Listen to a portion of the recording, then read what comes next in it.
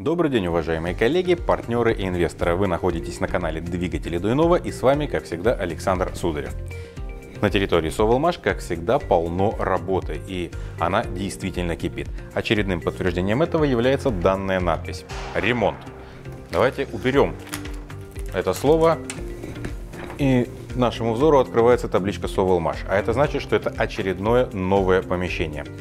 Что находится за этой дверью, сейчас я вам рассказывать не буду, но это имеет прямое, я бы сказал, непосредственное отношение ко мне и нашей съемочной команде.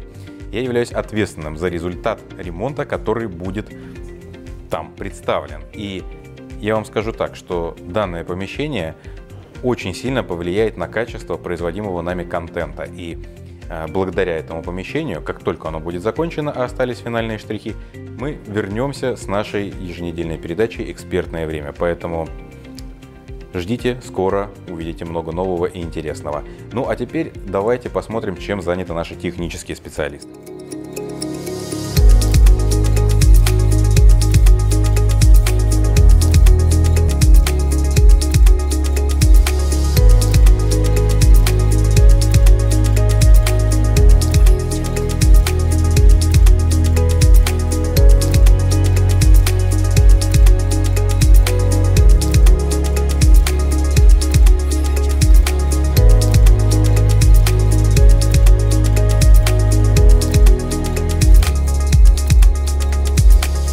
Плечи технических специалистов ложится очень много задач. Это и разработка соответствующей документации, это разработка самой технологии, точнее э, двигателей, к которым применяется данная технология, выпуск установочных партий, постоянные тесты, прототипы. Дел действительно много.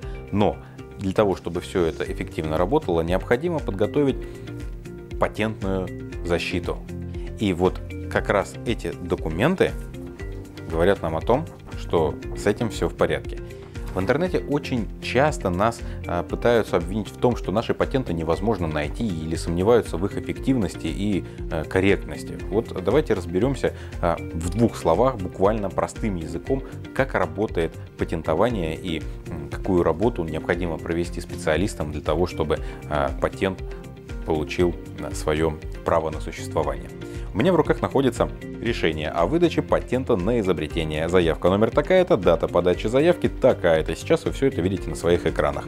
В результате экспертизы заявки на изобретение по существу установлено, что заявленное изобретение относится к объектам патентных прав – соответствует условиям патентоспособности, сущность заявленного изобретения в документах заявки раскрыта с полнотой, достаточной для осуществления изобретения, в связи с чем принято решение о выдаче патента на изобретение. Заключение по результатам экспертизы прилагается.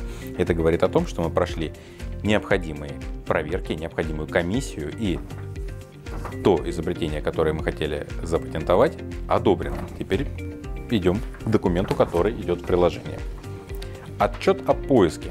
В данном документе также показано, показан регистрационный номер, дата подачи, а, продемонстрировано, какие патентные базы были проверены и, конечно же, категория, которая была присвоена. В нашем случае это категория А.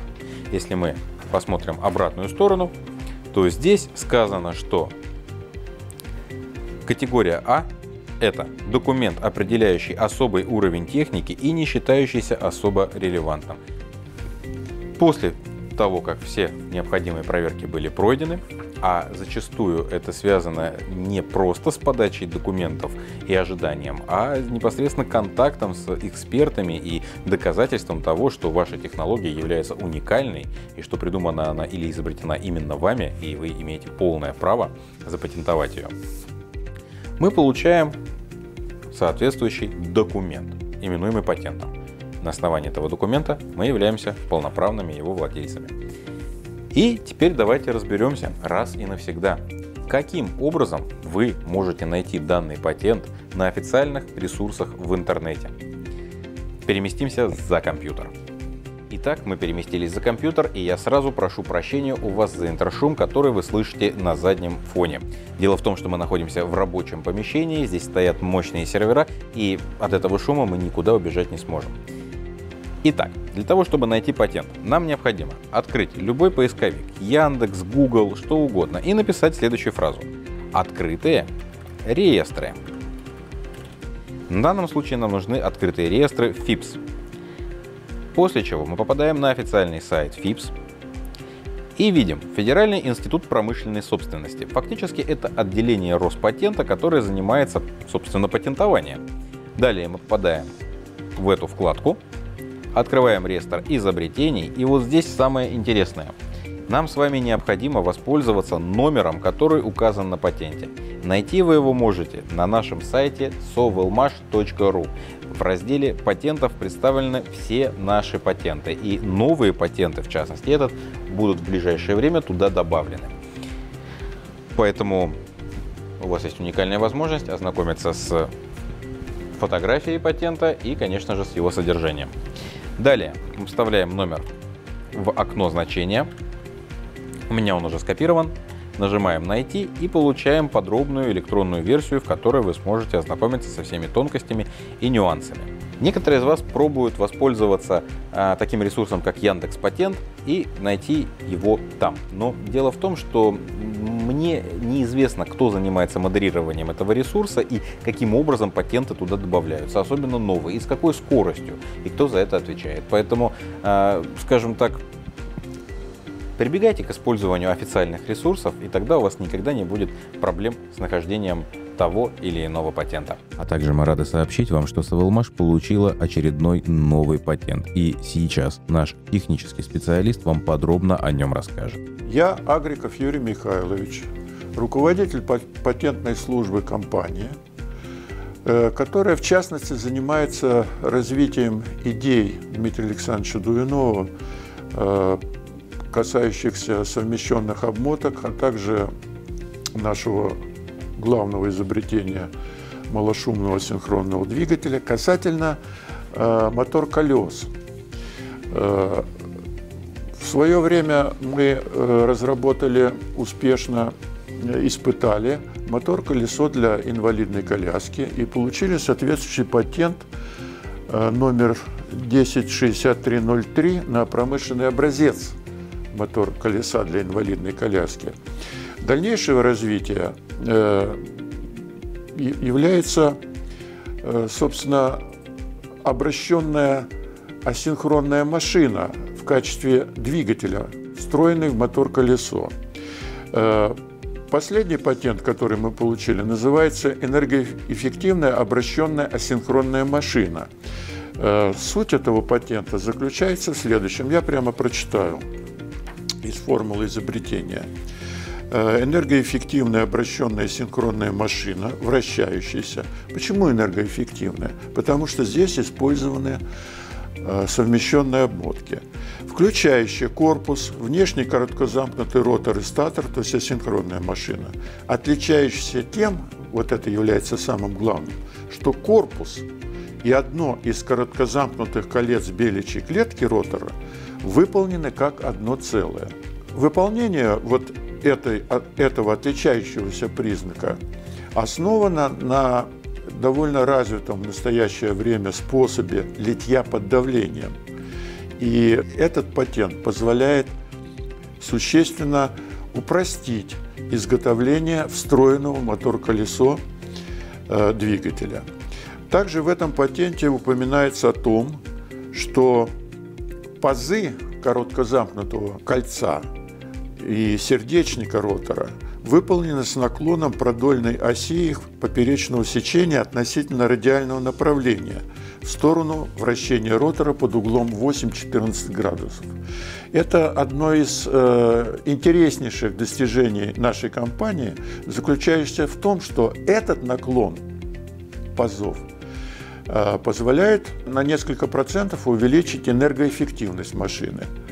Э, причина заключается в том, что получается там более равномерное распределение в рабочем зазоре магнитного поля, ну и, соответственно, получается вот э, этот технический результат в патенте. Особенностью данного патента, номер его 270 75 85, а, а, особенность отражена в отчете о поиске, который проведен Роспатентом.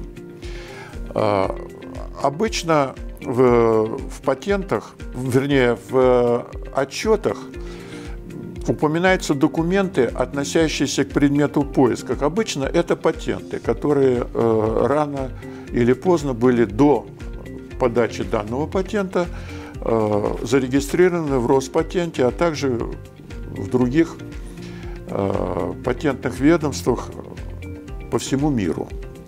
Так вот, здесь упоминается целый ряд э, этих патентов, причем они э, отмечаются особыми категориями А, Е, Л и так далее. Вот категория А – это документ, э, отмечается такой категорией, который определяет общий уровень техники и не считается особенно релевантным. То есть, если у нас э, предыдущие все документы, имеющие отношение к данному патенту, отметен, отмечены индексом вернее, э, А, вот как здесь указано, а также вот здесь, это говорит о чем? Если говорить простыми словами, это говорит о том, что данный патент, данное техническое решение обладает абсолютной мировой новизной, что нет близко расположенных Э, близко, э, касающихся близко э, вот этого технического решения. Вот, в частности, например, я могу зачитать. Если категория Е, то более ранний документ, опубликованный на дату международной подачи или после нее имеется такой. Вот его здесь нету. Допустим, категория L – Э, документ, подвергающий сомнению притязания на приоритет или который приводится с целью установления даты публикации другого ссылочного документа. Надо сказать, что большинство патентов, которые вот э, мы получили, а их десятки, э, там, конечно, не все категории А указаны в соответствующем отчете о поиске. Вот, но это у нас вот э, такой патент уже второй в нашей компании, в котором э, зарегистрирован Роспатента абсолютная мировая новизна. Э, в настоящее время у нас подано еще несколько заявок на патенты, касающиеся мотор колес. То есть мы довольно успешно работаем в этом направлении. Несколько слов о упомянутом патенте на промышленный образец – мотор-колесо для инвалидной коляски. Этот патент э, касается разработанного нами и испытанного мотор-колеса. Вот это мотор-колесо. Оно также отличается высокой энергоэффективностью – а также э, разработана таким образом, что достаточно просто может быть изготовлено на промышленном предприятии. Мотор-колесо, на наш взгляд, э, довольно эффективно. И, в общем-то, мы уже имеем несколько образцов легкомоторной техники, в которых используются аналоги этого мотор-колеса. Ну а на этом все. Обязательно подписывайтесь на канал, ставьте лайк, нажимайте на колокольчик и будьте в курсе всех последних событий из жизни проекта «Двигатели Дуйнова». До новых встреч!